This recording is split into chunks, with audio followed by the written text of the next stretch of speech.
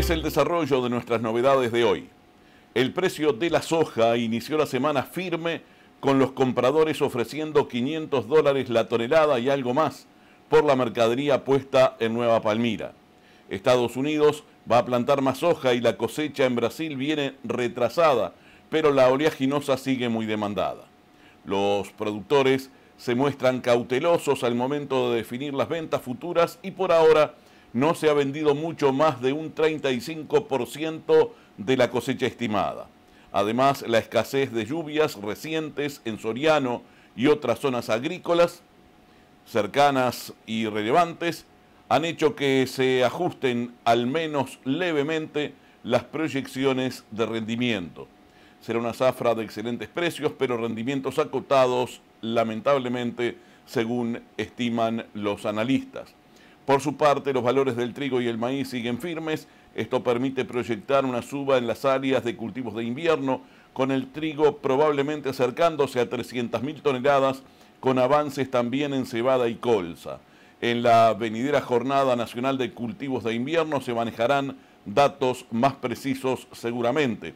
El evento será virtual los días miércoles 7 y jueves 8 de abril y se emitirá a través de Charrúa TV por TV Cable e Internet por Vera TV.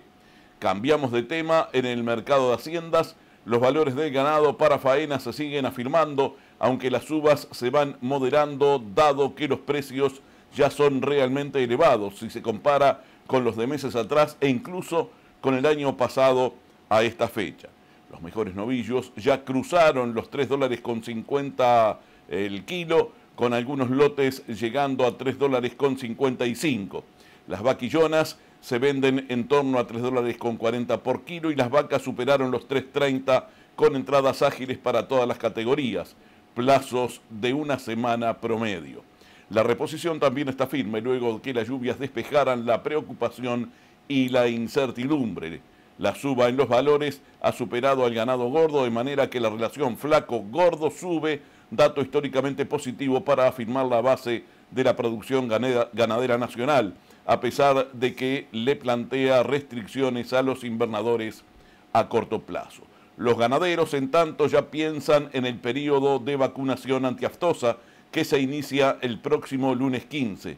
En esta oportunidad al periodo de marzo se suma el del pasado mes de febrero que había sido postergado por las autoridades. De este tema central para el sector pecuario nacional dialogamos en contacto telefónico con el director de los servicios ganaderos, el doctor Eduardo Barre. Bueno, las características, igual que los periodos anteriores, eh, en los primeros 15 días eh, no se autorizan los movimientos correspondientes. Este, eh, las entregas de vacuna están ya dispuestas en cada uno de los servicios de acuerdo seccionales policiales o, las rutas que tienen cada departamento para eh, hacerle llegar a los productores las, las diferentes dosis a cada uno que le corresponde. Es fundamental que lleven la declaración jurada para el momento de la entrega, eh, la planilla de control interno y la planilla sanitaria, como también tienen que llevar este recipiente adecuado para la conservación de la vacuna con refrigerante. Para Un tradicional que se lleva a cabo desde hace muchísimos años en el país, ¿verdad? Eh, sabemos todos que al sur del río, del, al sur de, Brasil, eh, probablemente se haya suspendido la, la vacunación en varios puntos. ¿Cómo influye esto en la necesidad de vacunar en Uruguay?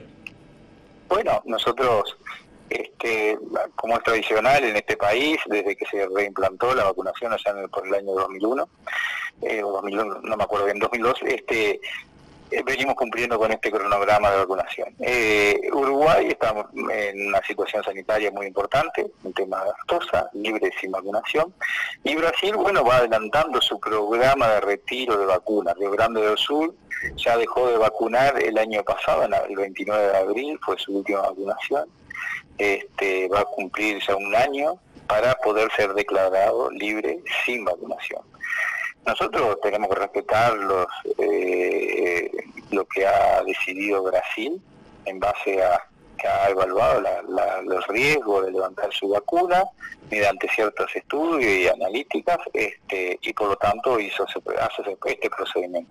Lo que nosotros le pedimos a todos nuestros productores es realizar conciencia cabal una buena vacunación, tomando todas las precauciones, que vengan todos los animales a las mangas, no que no lleguen animales cansados, o sea, hacer un buen acto de la vacunación para seguir con la inmunidad de nuestro rodeo, que los estudios serológicos que nosotros hacemos anualmente son de un gran porcentaje, un nivel muy alto, vamos a decir, de inmunidad.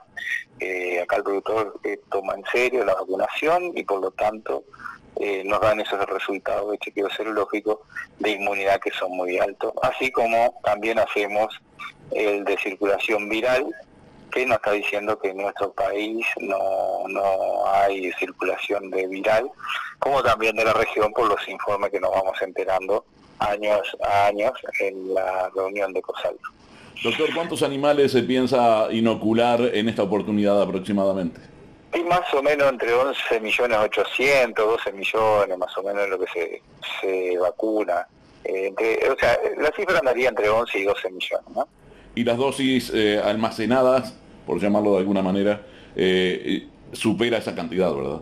Sí, sí, sí. Nosotros supera, a pesar de que tuvimos un problemita con la con la licitación este año pasado, siempre el país compra tanto para cubrir este periodo, que es el de mayor eh, entrega de dosis, y el próximo periodo que se va a hacer en junio, ya lo voy adelantando, del 1 de junio al 30 de junio, se compra más o menos alrededor de 18 millones de dosis. En esta, en esta licitación, por, por unos problemas en los, la documentación, se compraron 14 millones y algo, y después se hizo un refuerzo de otro pedido para completar los 18 que están llegando. Pero siempre tenemos un remanente de dosis para cualquier evento que pudiera ocurrir en el Uruguay. Siempre tenemos un stock remanente para, para atender cualquier circunstancia que pueda pasar en el país.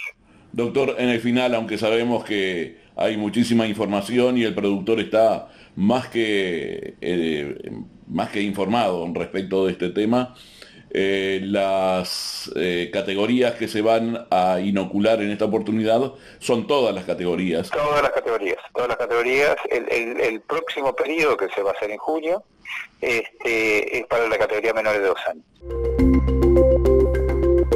En instantes nada más volvemos con todos ustedes, entrevistando al director técnico de Suplementos Torre Vieja, quien nos habla del interés que existe en estos días por la suplementación estratégica a nivel de los tambos. Ya volvemos.